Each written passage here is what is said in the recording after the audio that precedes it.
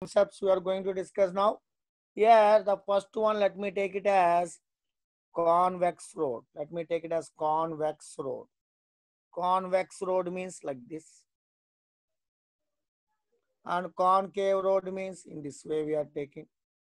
This is taken as concave road and the first one is convex road. Let us take that object is moving on that one. At the top position it is. Object is at the top position here like this. It is moving front with a speed v. Then automatically we can find the weight will act downward, no doubt. Normal reaction will act upward, normal reaction. And here everywhere these two are fixed for any body at any position. Is on concave road at bottom. Is going with a speed v. Then no doubt weight will always acts down. These two things are fixed. Either it's going on convex road or concave road. N is normal reaction acting normal to the body. Weight is always acting downward. These two things are fixed. Here, apart from these two things, we have one more thing is called as centripetal force. Centripetal force. Here, what not centripetal. Here, centripetal means inward force. Centrifugal means outward. So it is a moving in a circle. Then the outward force acting here is mv square by r. mv square by r. We get here outward force is mv square by r. That is our outward force. mv square by r. Let us take the radius is r here. Let us take the radius till here is r for this curved path. And for this curved part also, let us take the radius r. Always outward centrifugal force means we'll take it as outward force mv square by r. So a normal reaction in the first case, sum of upward forces equal to sum of downward forces. mv square by r is equal to, I can write it as mg. So yeah, normal reaction on convex road means I can write mg minus mv square r. Here in the second case, if you observe, simply n is equal to mg plus mv square by r. So normal reaction in the first situation, mg minus mv square by r. Normal reaction in second situation is mg plus mv square by r. So like that we are taking, this the first one is uh, called as convex road. Convex road, this is a convex road. And second situation, what we are calling it as concave road, concave road, concave, cave road and convex road. Like that, we are taking two situations here. I hope you are clear with these two situations. First, convex road situation. Second, concave road situation. Here, convex roads, what is happening better here? What are the downward forces? mg. Everywhere downward force will be mg only. There's no doubt. Normal reaction will be always upward. Those two things are fixed. Apart from that, another force what we are observing is mv square by r. This mv square by r is called as centrifugal force acting radially outward, radially outward. So it has to go like that means without uh, leaving the contact, it has to move in the direction means sum of upward forces must be balanced with sum of downward forces. Like that I can write. Suppose, suppose in case on convex road, let me take one convex road situation. It is not exactly at the top here, exactly not at the top. It is at this position. The object is here, is moving in this direction with the V like this. So normal reaction now, normal to the body, always normal to the body means in this direction will be having. So now the weight, weight, how it will act? Always weight will act vertically downward, mg. That is normal to the body, that will act in normal direction. So now this is the mg here, weight is acting downward. Now if you observe the force, if you resolve the components for the mg, that means it's what is making an angle uh, here with the vertical, this angle is making here is theta. The radius is up. It's making an angle theta. This is also radius. This angle is theta. So now in this situation, in this situation, I can resolve the weight into components, weight into components. So if I resolve the components means what will happen here? Observe carefully here. mg I am resolving into components. In this direction, we'll get it as mg sine theta. mg what will get here? Sine theta. And in this direction, we'll get it as mg cos theta. mg cos theta. So I can clearly understand that normal reaction is equal to n is equal to m, one more force will be there because moving in a circle means apart from n and mg we know that outward force is mv square by r. So from here clearly we can understand n plus mv square by r n plus mv square by r is equal to mg cos theta mg cos theta. So here in this situation the force with which it is coming down is mg sine theta. That is a tangential force acting downward is mg sine theta. And normal reaction now, how to write the normal reaction means n is equal to simply now mg cos theta minus mv square by r. This is the normal reaction. When it is at some angle theta with vertical. In previous situation, if you observe, previous situation, here theta value is how much? The same formula we can write here also. Here n equal to what we have mg minus mv square by r. With vertical means the angle here we have to take it as zero. So here you can imagine this is the vertical. With vertical angle is zero. So um, this angle is zero means cos theta. Actually now, if suppose some angle is there, we are getting it as mg cos theta minus mv square. So here cos theta is theta is zero means cos zero is one. So mg minus mv square by r. So this one I can say in the first diagram what I have drawn is the case where theta is 0. Theta is 0.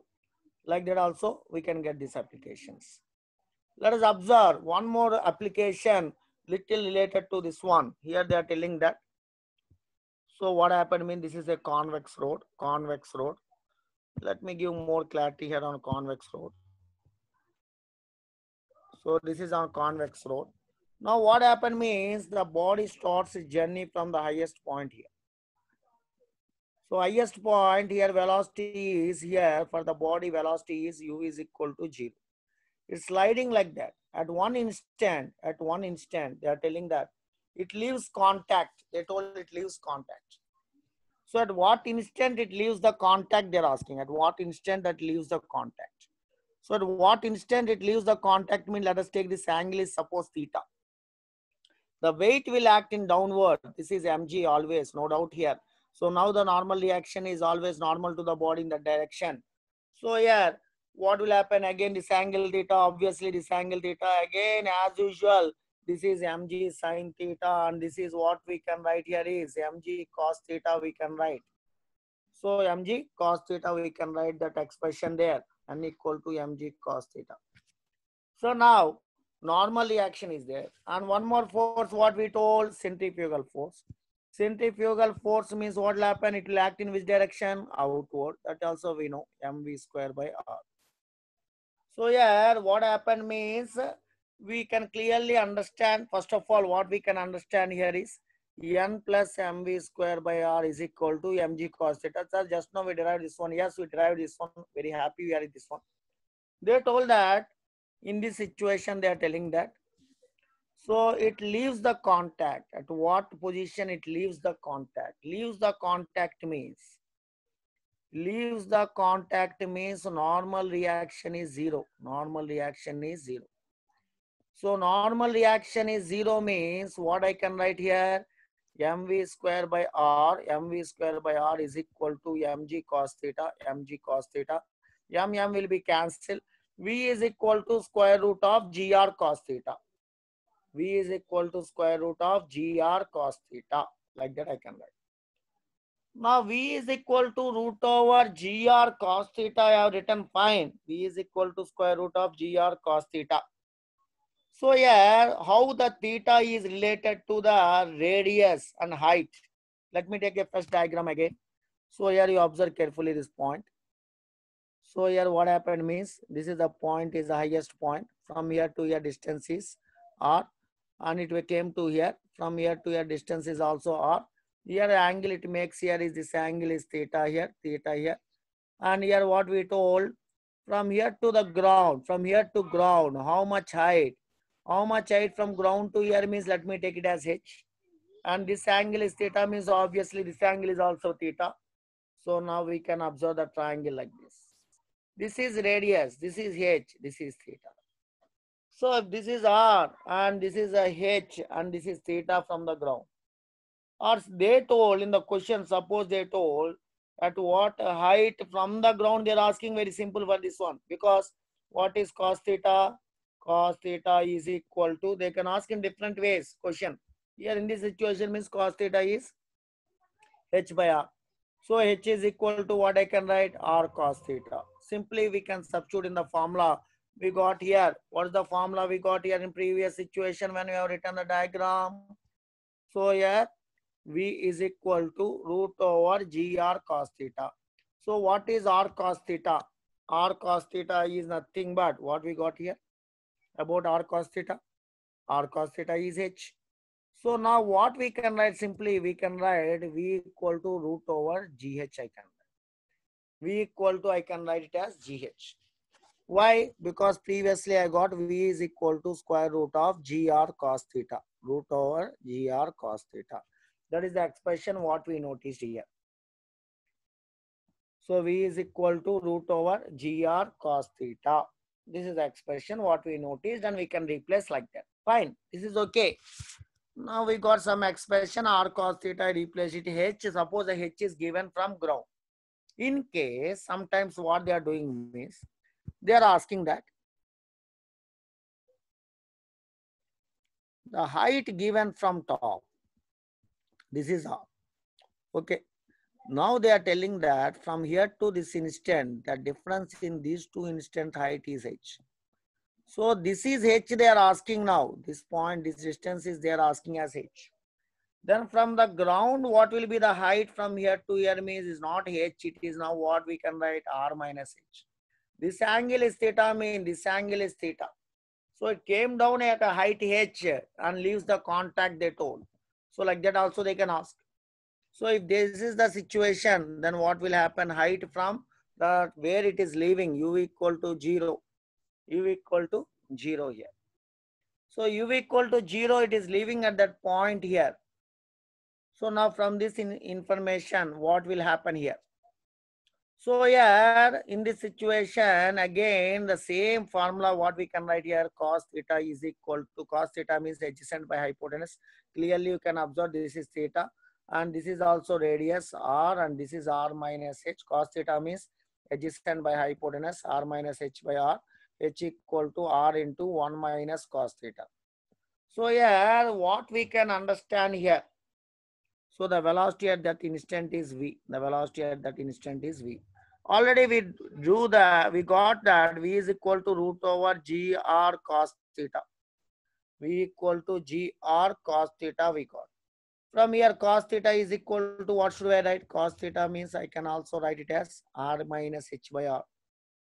So r cos theta is r minus h. So i can write the formula as v is equal to square root of g into r minus h. G into r minus h if it is from top. And it's from bottom is suppose the height is given from ground to that point is h v is equal to root gh from the top means root over g into r minus h. This is the velocity at which the point loses the contact. This is the question they have given.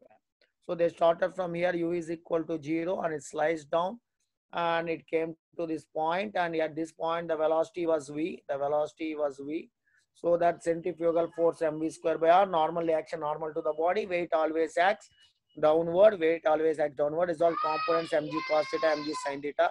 Here n equal to mg cos theta, here we have also mv square by r, sum of these two forces equal to this one. From here, we told leaves the contact, leaves the contact means normal reaction G. From that we got these expressions. I hope you are clear with this, how to handle this normal reaction, zero. Normal reaction, zero. Any doubts still here?